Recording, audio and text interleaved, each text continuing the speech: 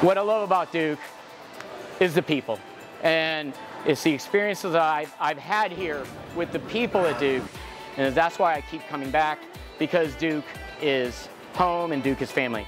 You've earned the right to, uh, you know, awkwardly approach me as such. I'll stand my ground, uh, and we can just sort of see this thing through to the end. What? Do I threaten you?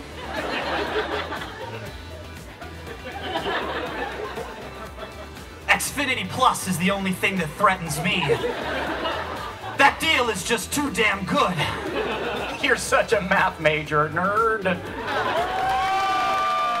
This is so much fun. It is so challenging to do. Please, I encourage everybody to be a part of this. Thank you guys so much. Give it up! Guys,